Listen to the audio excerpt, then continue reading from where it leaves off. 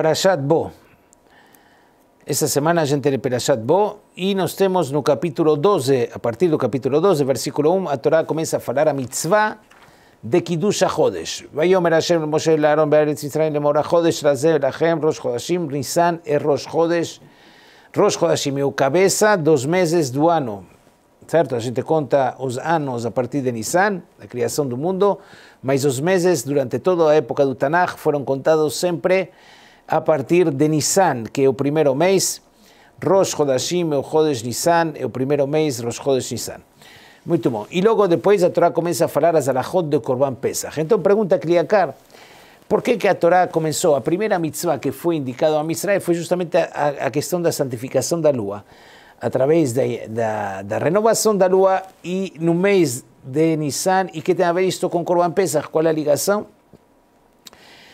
Então, ele começa explicando o seguinte: a, a, uma das coisas, uma das fé pagãs que tinham os egípcios era que o Mazal Talé, o signo de Aries em português, ou seja, o Mazal deste mês Talé, era o cabeça dos meses, por isso que justamente eles idolatravam os animais que Toabat Mitzrayim Kol Roetzon, como hoje tem lugares no mundo que tem, ainda idolatram, será vaca, touro. Aguilá era a questão dos carneiros. Então, é, e por isso que justamente vem a mitzvah de Kiddush HaChodesh neste mês, que é o primeiro. Que na verdade é assim. Claro que os signos têm uma certa influência por decreto da Kadosh Baruch Hu, e nós temos cada mês com seu signo, e isso é reconhecido e é sabido e conhecido por nossos Hamim na Torá, claro, não tem dúvida. E o mês de Nissan, justamente cada signo começa a estar na parte alta, no início do mês, e por isso que se chama o signo ligado com o mês. Cada mês não é momento de explicar isto agora, mas vem a Kadosh Baruch e diz, justamente neste mês, este mês que você saem de Mitzrayim vai ser Rosh Chodesh. Mas para vocês não pensarem que aqui tem aqui alguma coisa ligada com o signo, como os egípcios pensavam, vem a Torá e te diz, no dia 10 de Nissan, no dia 10 de Nissan, se pega o carneiro e amarra ele na cama. O dia 10 do mês é o dia que está mais elevado, está chegando no ápice. E no dia 15 do mês, você faz shritá nele, no dia 14, verdade? Faz shritá, degola ele, justamente para cortar esta fé pagã dos egípcios. E por isso esta ligação do da mitzvah de Kiddush HaChodesh, justamente santificar o mês, justamente neste mês de Nissan, ligada com o Korban Pesach. Primeira explicação dessa semana, vamos passar para a segunda. Vamos para o finzinho da Parashá. No finzinho da Parashá, a Torá fala a mitzvah de Tefilim, a famosa Parashá de Kadeshri Kol Bechor, e chama a atenção, o Pasuk diz, Veia no Pasuk, no versículo 16, versículo capítulo 13, a Torá diz, Veia leot aliadecha, o totafot benecha, e vai ser como sinal no seu braço, o totafot benenecha, que é o tefilim é colocado no braço e na cabeça. E yadecha está escrito diferente que o que tinha que estar escrito. Yadecha normalmente se escreve com três letras, Yud, Dalet e Haf Sofit. Aqui a Torá diz Yadechá com Hen fim, Yad Keha. E daqui se aprende que o tefilim se coloca na mão fraca. Yad Keha, que é no braço esquerdo. Esta aqui, esta é a aqui desta, desta, deste versículo se aprende. Isso é Pashut, mas por que esta mitzvah?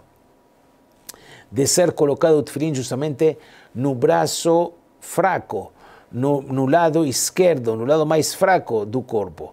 Então temos várias explicações. Eu queria dar uma explicação aqui, muito interessante. Que justamente o lado esquerdo, o braço esquerdo, fica perto do coração da pessoa e justamente ele, normalmente a pessoa, eh, o coração e a mente da pessoa são são aqueles que pensam em fazer pecado. O lado direito é o lado das tavot, porque o cabet, o lado do fígado, fica mais do lado direito do corpo. O que não é assim com o coração que fica do lado esquerdo. E justamente para levantar este lado e que a pessoa se fortalece na sua parte espiritual. Porque diz o Kriakar, aqui nós temos duas coisas. A parte intelectual e espiritual da pessoa é contrária, desculpa, é contrária e se opõe à parte material. São como duas co-esposas no mesmo, que um puxa para aqui e outra puxa para aqui. Um levanta. A pessoa que é mais espiritual, menos material ele é.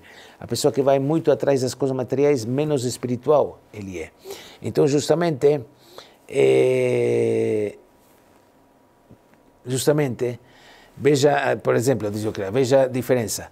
Quando a pessoa é jovem, está com toda a sua força física, toda a sua força física, ele, quando mais idade ele tem, mais jajam a pessoa se torna, mais inteligente e mais sábio. Por quê? Porque justamente ele tem menos influência, ou menos atração, ou menos, sim, se a pessoa trabalha sobre si na vida, sobre essas coisas materiais. E por isso que justamente se levanta esse lado, para fortalecer esse lado do coração e da cabeça, e que se direcionem já, desde sua juventude, a pessoa vem com o e diz, coloca o tefilim, aqui, no braço fraco, o braço que está perto do coração, aqui na cabeça, para controlar a sua mente e seu coração em direção a Kadosh Baruch Por isso que esta mitzvah justamente vem e se coloca do lado fraco da pessoa. Uma explicação do Kliakar, ele próprio já traz outras, mas vamos atrelar-nos apenas a uma. Shabbat Shalom.